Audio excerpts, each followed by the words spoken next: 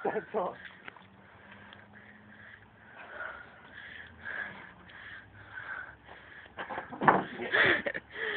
Fucking work.